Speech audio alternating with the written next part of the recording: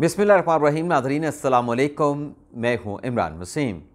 नाजन, सबक वज़ी अजम इमरान ख़ान के लिए मेजर साहब का हुक्म आया है। ये मेजर साहब कौन हैं और उन्होंने इमरान ख़ान के लिए क्या हुक्मनामा, क्या हुक्म सादर फरमाया है? एक तो इस खबर की तफसीत आपके साथ हम शेयर करेंगे। इसके अलावा नाजीन, इस्लामाबाद हाई कोर्ट के जस्टिस मियाँ गुल हसन उनके साथ पाकिस्तान तहरीक इंसाफ की गलत बयानी का इंकशाफ हुआ है। ये क्या मामला है? इसकी तफसलात भी आगे चल के आप नाजिन की खिदमत में पेश करने जा रहे हैं। इसके अलावा काजी फ़ाइसर साहब का बड़ा फ़ैसला मलबा जनरल बाजवा पे डाल दिया गया। बल्ले का निशान तो गया पाकिस्तान तहरीक इंसाफ से, लेकिन अब इमरान खान से सियासी जमात छीन लेने का मामला क्या है? इन सारी ख़बरों की तफसलत ब्लॉग में आप नाजिन के साथ हम शेयर करने जा रहे हैं। लेकिन सबसे पहले नाजिन हम बात करेंगे, आज जो अहम मुकदमात की समात होने जा रही है, उनकी डिटेल्स आप नाजिन के साथ डिस्कस करेंगे। तो सबसे पहले नाजिन आज सुप्रीम कोर्ट में तीन अहम मुकदमात की समात होने जा रही है और तीनों मुकदमात पाकिस्तान तहरीक इंसाफ के उन रहनुमाओं से मुतलक है, जो 8 फरवरी 2024 का इलेक्शन तो लड़ना चाहते थे, लेकिन उनके नॉमिनेशन पेपर को हाई कोर्ट की तरफ़ से रिजेक्ट कर दिया गया, उनको इलेक्शन लड़ने की इजाज़त नहीं दी गई। तो सबसे पहले नाजीन जस्टिस मुनीब अख्तर, जस्टिस शाहिद वदी वहीद और जस्टिस इरफान सादत की पर मुश्तमिल तीन रुकनी बेंच आज शौकत बसरा, पाकिस्तान तहरीक इंसाफ के कैंडिडेट एन ए एक सौ तिरसठ बहावल नगर से इलेक्शन लड़ना चाहते थे, लेकिन उनके नॉमिनेशन पेपर रिजेक्ट कर दिए गए। तो देखते हैं कि मुनीब अख्तर साहब आज शौकत बसरा साहब की इलेक्शन पटिशन पर क्या फ़ैसला सादिर फरमाते हैं। इसके अलावा नाजिर, सनम जवेद साहबा, एन ए एक सौ उन्नीस, एन ए एक सौ बीस और पी पी एक सौ पचास से पी टी आई की कैंडिडेट। लेकिन इनके नॉमिनेशन पेपर तीनों फोरम से रिटर्निंग ऑफिसर से इलेक्शन ट्रिब्यूनल से और लाहौर हाई कोर्ट से रिजेक्ट कर दिए गए। अब वो चौथे फोरम पे आई हैं कि उनको इलेक्शन लड़ने की इजाज़त दी जाए। और बेंच है जैसे मुनीब अख्तर का, जैसे शाहिद वहीद का और जैसे इरफान सादत खान का। तो देखते हैं इस केस में क्या फ़ैसला होता है? दोनों केसेस में, चाहे शौकत बसरा का केस है, चाहे सनम जवेद का केस है, दोनों केसेस में एडवोकेट शाहजेब मसूद जो है, इन दोनों रहनुमाओं की वकालत करेंगे। इसके अलावा नाजरीन, जस्टिस मंसूर अली शाह, जस्टिस जमाल खान मंदुखेल और जस्टिस अख्तर मिनल्ला पर मुश्मिल तीन रुकनी बेंच परवेज़ इलाही की चार अपीलों पर, जिसमें उनको भी इलेक्शन लड़ने की इजाज़त नहीं दी गई। चार हलकों से कौमी असम्बली, सूबाई असम्बली के ये हल्के थे और इसके साथ साथ उमर असलम खान, तहरीक इंसाफ की कैंडिडेट हैं। इन अपीलों पे मंसूर अली शाह साहब का तीन रुकनी बेंच समाप्त करेगा। तो देखते हैं कि परवेज़ लाई साहब को और उमर असलम साहब को इलेक्शन लड़ने की इजाज़त मिलती है या नहीं मिलती। परवेज़ लाई साहब के वकील हारिस अजमत साहब और आमिर सईद रां साहब हैं। उमर असलम खान के वकील अली जफ़र और जाहिद नवाज़ चीमा साहब हैं। जब नाजी दोनों केसेस कल समात के लिए मुकर हुए। तो हम सोशल मीडिया पे देख रहे थे कि कहा जा रहा था कि क्योंकि काजी फैसल साहब नहीं है तो फैसला पाकिस्तान तरीके इंसाफ के हक़ में आया था। लेकिन आज यहाँ पे भूल जाते हैं प्रापोगंडा करने वाले कि गुज्त रोज़ जो है, वो सनाउल्ला मस्ती खेल, पाकिस्तान तहरीक इंसाफ के अन्य भक्कर नाइन्टी वन से उम्मीदवार थे। उनको इलेक्शन लड़ने की इजाज़त भी काजी फ़ायसा साहब नहीं दी थी। और प्रापोगंडा करने वाले बुगस, बुगज़ काजी फ़ायसा में ये भी भूल जाते हैं कि ये जो दोनों बेंचेस बने हैं चाहे मुनीब अख्तर साहब का है, चाहे मंसूर अली शाह साहब का है, इनके सामने ये मुकदमात लगाने का फ़ैसला इन बेंचेस की तश्कील भी काजी फ़ायसा साहब ने की है। लेकिन क्या करें कि भुगज़ काजी फ़ायसा से जो जो प्रोपोगंडा करने वाले हैं, वो इस सोच से बाहर नहीं आ सकते। इसके अलावा नाजरीन, इलेक्शन की इंतबात की बात हो रही थी तो काजी फ़ायसा साहब के बेंच में मोहम्मद आरिफ अब्बासी, जिनकी सूबाई असम्बली के नॉमिनेशन पेपर का मामला है। काजी फ़ायसा साहब इस केस की समात करेंगे। अब ये सारे इंतबात की बात हो रही थी तो अपने एक इलेक्शन की बात भी कर लें। आज नाज हमारे सुप्रीम कोर्ट, यानी प्रेस एसोसिएशन सुप्रीम कोर्ट के साथियों के इंतबात भी होने जा रहे हैं। तो उसमें हमारे अपने दोस्त भी खड़े हैं और हमारे मतलब एक हमारा पैनल है, एक हमारे अब दूसरे दोस्तों का पैनल है। तो देखते हैं कि हमारा पैनल कामयाब होता है या हमारे दूसरे दोस्तों को कामयाब होता है, लेकिन जो भी जीतेगा, चाहे हम जीतें, चाहे हमारे दूसरे साथी, दूसरे पैनल वाले जीतें, जीत जो है वो press association of supreme court की होनी चाहिए। तो जो भी रिज़ल्ट हुआ, नेक्स्ट वीलॉग में आपके साथ हम शेयर करेंगे। इसके अलावा नाजरीन, सलमान अकम राजा साहब, जिन्होंने रजू किया था लाहौर हाई कोर्ट से कि मुझे इलेक्शन कमीशन ने इंडिपेंडेंट कैंडिडेट क्यों करार दिया है? मैं तो पाकिस्तान तहरीक इंसाफ का उम्मीदवार हूँ मुझे पाकिस्तान तहरीक इंसाफ ने टिकट दिया है। पाकिस्तान तहरीक इंसाफ रजिस्टर सियासी जमात है। तो इस पर जैसे बाकर नजवी साहब ने समात करने के बाद, सलमान अकम राजा के वकील के दलाइल सुनने के बाद, इलेक्शन कमीशन के वकील का मौक़ सुनने के बाद फैसला महफूज कर लिया था और रात गया ये फैसला लाहौर हाई कोर्ट ने अनाउंस किया है, जिसमें सलमान अकम राजा साहब को कहा गया है कि आप इलेक्शन कमीशन से रजू करें। वैसे नाजी, ये जो अटैम्प्ट थे, सलमान अकम राजा साहब की ये भी तहरीक इंसाफ के लिए बल्ले का निशान हासिल करने की एक इनडायरेक्ट कोशिश थी। इनडायरेक्ट एक अटैम्प्ट थी। लेकिन अब देखते हैं कि रास्ता दिखाया गया है सलमान अकम राजा साहब को इलेक्शन कमीशन का। क्या वो इलेक्शन कमीशन में जाएँगे? क्या इलेक्शन कमीशन से सलमान अकम राजा साहब को तहरीक इंसाफ का जो वो स्टेटस हासिल करना चाहते हैं कि वो तहरीक इंसाफ के कैंडिडेट हैं, उन्हें तहरीक इंसाफ का कैंडिडेट लिखा जाए, उन्हें आज़ाद कैंडिडेट ना लिखा जाए तो अगर रुजू करते हैं तो इलेक्शन कमीशन क्या फ़ैसला सादिर करेगा? इसके अलावा नाजरीन जो मैंने थम नेल पर लिखा कि बल्ले का निशान तो गया, लेकिन अब इमरान खान से सियासी जमात भी छीन ली गई। तो ये क्या मामला है नाजरीन? अकबर एस बाबर साहब ने कल इस्लामाबाद में एक इजलास मनद किया, यानी एक कॉन्फ्रेंस मनद की, जिसमें खुद वो शरीक थे। तहरीक इंसाफ के सबक जो मरकज़ी और सूबाई जो क्यादत थी, वो शरीक हुए और इसमें नाजी एक करारदाद पास की गई, बल्कि ढेर सारी करारदादें पास की गई। उसका नाजी खुलासा ये है, एक तो बल्ले के निशान के हवाले से सुप्रीम कोर्ट के फैसले को तारीखी करार दिया गया। और ये कहा गया कि मौजूदा जो क्यादत है, जो पाकिस्तान तहरीक इंसाफ के मामला को चला रही है, वो इखलाकी तौर पर कानूनी तौर पर सियासी तौर पर रहनुमाई के हक से महरूम हो चुकी है। इस करारदाद में कहा गया है कि मौजूदा क्यादत के नीचे इंट्रा पार्टी इलेक्शन अब काबिल कबूल ना होगा। बानी और मुखलस की आदत जो है, अब इंट्रा पार्टी इलेक्शन करवाएगी। और इसमें यह भी कहा गया है कि आठ फरवरी के इंतबात के हवाले से जिन उम्मीदवारों को पार्टी टिकट दिए गए हैं उसमें जो मुखलस तहरीक इंसाफ के जो उम्मीदवार हैं, उनकी निशानदेही की जाएगी। इस रेजोलेशन को इलेक्शन कमीशन को भेजा जाएगा और इलेक्शन कमीशन से कहा जाएगा कि इंट्रा पार्टी इलेक्शन आपकी निगरानी में हम करवाएँगे, अकबर एस बाबर कराएगा, अकबर एस बाबर के साथ ही कराएँगे और उस इंटर पार्टी इलेक्शन के नतीजे में तहरीक इंसाफ को बल्ले का निशान दिया जाए। यानी अकबर एस बाबर जो है, अब पाकिस्तान तहरीक इंसाफ की कमान संभालना चाहता है बाग दौड़ संभालना चाहते हैं। तो देखते हैं कि कब ये रेजोल्यूशन जाती है और इस पर इलेक्शन कमीशन क्या फैसला करता है।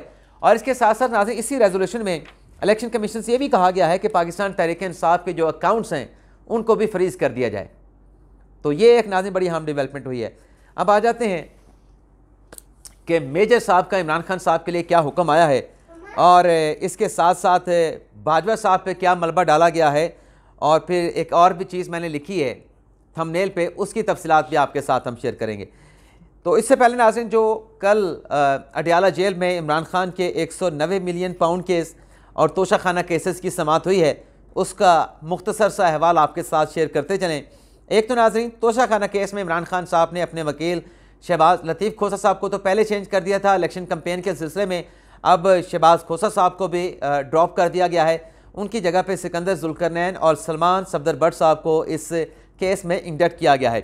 सलमान सफदर भट्ट साहब ने सफदर साहब ने जज मोहम्मद बशीर साहब से कहा कि सत्ताईस जनवरी तक उनको वकालतनामा जमा करवाने की मोहलत दी जाए तो ये इस्तः एक्सेप्ट कर ली गई और तोशा खाना केस की जो समात है नाजिन उसको सत्ताईस जनवरी तक मुलतवी कर दिया गया। इस केस में खान साहब ने यह गिला किया कि हमारा तोशा खाना का केस तो रोज़ाना की बुनियाद पर चलाया जा रहा है, लेकिन जो नवाज़ शरीफ का, आसिफ अली जदारी का, यूसफ रजा गिलानी का जो तोशा खाना का मुकदमा है, उसमें तो तेरह फरवरी की तारीख डाल दी गई है। इंतबात के बाद की तारीख डाल दें। इसमें भी आप आठ फरवरी के बाद की तारीख डाल दें। लेकिन जज मोहम्मद बशीर साहब ने मुस्कुराते हुए इमरान खान साहब से कहा कि कार्रवाई को आगे बढ़ाया जाए। इसके अलावा नाजरीन, जो 190 मिलियन पाउंड का केस था, उसकी समात भी 30 जनवरी तक मुलतवी कर दी गई। और इसकी वजह नाजरीन ये बनी है कि जो अपने बुशा बीबी साहबा हैं, वो दस्तियाब नहीं थी। वो अदालत से गैर हाजिर थी क्योंकि इमरान खान पे और बुशा बीबी साहबा पे इस केस में फ़र्द जुर्म पढ़ा जानी, पढ़ी जानी थी। तो चूँकि मुलजमान मौजूद नहीं थे तो फ़र्द जुर्म की कार्रवाई को आगे नहीं बढ़ाया गया और चलान की जो नकूल थी, वो पहले ही मुलजमान में तकसीम कर दी गई थी। तो तीस दिसंबर तक इस केस की समात को मुलतवी कर दिया गया। दौरान समात नाजी इमरान खान साहब का नवाज़ शरीफ के वकील के साथ मुकालमा हुआ। जज साहब के साथ जो मुकालमा हुआ, मैं आपको बता चुका चुका हूँ। लेकिन तोशा खाना केस में इमरान खान साहब ने यह कहा नवाज़ शरीफ के वकील अमजद परवेज से कि अमजद, वैसे तुमने बड़ा छक्का मारा है और इतना बड़ा छक्का मारा है कि ग्राउंड गेंद, ग्राउंड में जाने के बजाय गेंद ग्राउंड से बाहर जाके गुम हो गई है। और ये पचास करोड़ का केस भी नहीं बनता था, लेकिन मेजर साहब का हुक्म आया और मेरे खिलाफ जो 50 करोड़ का केस नहीं था, उसको 300 करोड़ का बना दिया गया। यानी अमजद परवेज़ पे ये एलिगेशन इमरान खान साहब ने लगाया कि एक मेजर के कहने पे ये जो तोशा खाना के वैसे खान साहब अब 50 करोड़ से कम की बात कर रहे हैं। हालाँकि खान साहब पिछली एक गुफ्तु में कह चुके हैं कि ये एक करोड़ अस्सी लाख की मैंने अदायगियाँ की थी। अब खान साहब पचास करोड़ की बात कर रहे हैं। लेकिन कथा नज़र खान साहब पहले क्या कह रहे थे? ये खान साहब यूटर्न इस किस्म का लेते लेते रहते हैं। खान साहब की आदत है। लेकिन अब खान साहब ये कह रहे हैं कि किसी मेजर के कहने के ऊपर इसकी जो मालियत है वो तीन सौ करोड़ तक बढ़ा दी गई है। तो क्या पाकिस्तान में नाजिन ग्राफ का जो ज्वेलरी सेट है उसका तखमीना लगाने वाले पाकिस्तान में मौजूद हैं। ग्राफ का कीमती सेट आपने रख लिया और तखमीना आपने उस बंदों से लगाया, उन लोगों से लगाया, जिन्होंने खैर ज़िंदगी में खैर वो ग्राफ का सेट भी नहीं देखा होगा। लेकिन बहरहाल, आगे चल के अमजद प्रवेश साहब ने कहा कि इस केस में फ़र्द जुर्म की कार्रवाई होना थी, लेकिन मुलजमान की हाज़िरी ज़रूरी है, लेकिन इस केस में ताखिरी हरबे इस्तेमाल किए जा रहे हैं। इमरान खान साहब ने कहा कि मेरी बुशा बीबी साहबा से बात नहीं कराते, मुझे तो पता नहीं होता कि बुशा बीबी साहबा आ रही हैं या बुशा बीबी साहबा नहीं आ रही। लेकिन बहरहाल, जब मुलजमा नहीं थी तो अदालत ने इस केस की समात को मुलतवी कर दिया तीस जनवरी तक। इसके अलावा नाजिन इमरान खान साहब की साफ़ियों के साथ भी कुछ गुफ्तु हुई है। अब उसका खुलासा भी आपके साथ शेयर कर लें और साथ में उसका एनालिसिस भी करेंगे। खान साहब ये कहते हैं, एक तो खान साहब ने कहा कि आठ फरवरी को इंतबात हो गए तो पाकिस्तान तहरीक इंसाफ जीतेगी। अब इस बात की मुझे समझ नहीं आ रही कि खान साहब ये क्यों कह रहे हैं। कि आठ फरवरी को इंतबात हो गए तो पाकिस्तान तहरीक इंसाफ जीतेगी। तो खान साहब को ऐसा खदशा क्या है? खान साहब को ऐसा इशू क्या है? खान साहब क्यों कह रहे हैं कि आठ फरवरी को इंतबात नहीं होंगे? लेकिन बरा खान साहब ये दावा कर रहे हैं कि पाकिस्तान तहरीक इंसाफ जीतेगी। लेकिन जो लेटेस्ट सर्वे हैं, वो कुछ और बता रहे हैं कि तहरीक इंसाफ की जो मकबूलियत है, वो कम हुई है और मुस्लिम नवाज़ की मकबूलियत में इजाफा हुआ है। खान साहब ने मीडिया टॉक में कहा कि शेरानी और एम डब्ल्यू एम के अलावा किसी के साथ हमारा इतिहाद नहीं हो सकता। ये दो सियासी जमातें हमारी आगे चल के इलेक्शन के बाद इतिहादी होंगी, अब भी हमारी इतिहादी हैं। और ख़ान साहब ने फिर यहाँ पे ऊपर बता रहे थे कि 50 करोड़ से कम की मालिक का तोशा खाना का केस है। अब यहाँ पे जब साफ़ियों के साथ गुफ्तु कर रहे थे तो खान साहब ने एक नया मौक़ लिया। यानी चंद मिनट्स के अंदर या एक आध घंटे के अंदर खान साहब ने साफ़ियों को कहा कि ये तो पचास लाख की चीज़ें थी, इसको तीस करोड़ का इसका तखमीना लगा लिया गया। ऊपर खान साहब अदालत में पचास करोड़ की बात कर रहे थे। जब साफ़ियों के साथ आए तो खान साहब पचास लाख की बात कर रहे थे खान साहब के हिंसे ऐसे होते हैं। खान साहब पे पर्ची पे लिखा भी नहीं पड़ा जाता। वो पता नहीं सोलह हज़ार सोलह हज़ार सौ, दो सौ पच्चीस इस तरह के से पढ़ रहे थे कि पाकिस्तान में एक शख्स की जो है वो सालाना आमदन है। वो आपको याद होगा अदम अतमाद की तहरीक के बाद खान साहब इस किस्म के बयान देते थे, दावे करते थे। इसके अलावा खान साहब से पूछा गया साफ़ियों ने कि खान साहब, ये जो आप दावा करते हैं कि अस्सी फ़ीसद फ़ौज आपके साथ है, ये आप कैसे दावा करते हैं? आपके पास क्या इदाद शुमार हैं? आपके पास क्या सर्वे है? तो खान साहब ने बजाय इसके कोई सर्वे कोड करते, खान साहब ने कहा कि मुझे जनरल बाजवा ने बताया था। तो बाकी बातें भी जनरल बाजवा की खान साहब ने मानी थी। ये बात तो जनरल बाजवा की मान ली। पता नहीं बाजवा साहब ने कही या नहीं कही, लेकिन सारा मुद्दा जो है वो खान साहब ने जनरल बाजवा साहब पे डाल दिया कि उन्होंने मुझे कहा था कि फ़ौज के अस्सी फ़ीसद लोग जो हैं वो पाकिस्तान तहरीक इंसाफ के साथ हैं। और फिर नाजरीन, खान साहब ने कहा कि टिकटों के हवाले से सवाल खान साहब से पूछा गया। खान साहब ने कहा कि मैंने तो टिकटें तकसीम की ही नहीं। मैंने तो टिकटों की तकसीम का अख्तियार मकामी क्यादत को दे दिया था। अब ये नाजिन एक और यू टर्न है। इस्लामाबाद हाई कोर्ट में तहरीक इंसाफ के वकला गए थे कि हमने इमरान खान साहब के साथ टिकटों की तकसीम पर मुशावरत करनी है। हमें लिस्टें अंदर नहीं ले जाने दी जा रही। हमें मुशावरत करने की इजाज़त नहीं दी जा रही। तो जस्टिस मियाँ गुलसन औरंगज़ेब साहब ने इजाज़त दे दी थी। ये तीन दिन, चार दिन मुसलसल जाते रहे खान साहब के साथ टिकटों की तकसीम पर मुशावरत करने के लिए। और गौर साहब बाहर आके बताते थे कि मैंने खान साहब के साथ मुशावरत कर ली है। मुशावरत आज मुकम्मल हो जाएगी, मुशावरत कल मुकम्मल हो जाएगी। लेकिन अब खान साहब कहते हैं कि मैंने तो मुशावरत की नहीं। मैंने तो मकामी क्यादत को अख्तियार दे दिया था, मैंडेट दे दिया था। तो इसका क्या मतलब नाजरीन?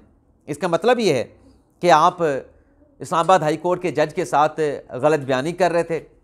या अगर इस्लामाबाद हाई कोर्ट के जज के सामने आप गलत बयानी नहीं कर रहे थे, आपके वकला गलत बयानी नहीं कर रहे थे तो अब आप साफियों के साथ गलत बयानी कर रहे हैं।